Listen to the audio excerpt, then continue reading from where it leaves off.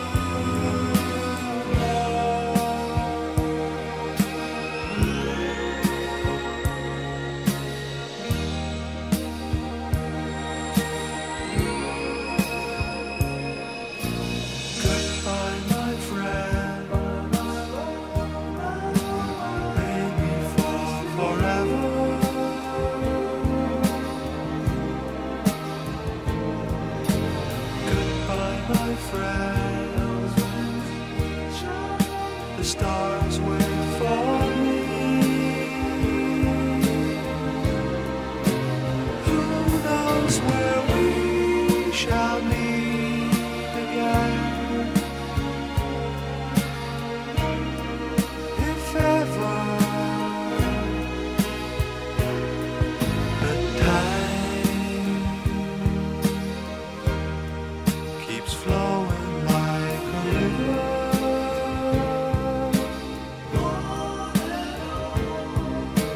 see.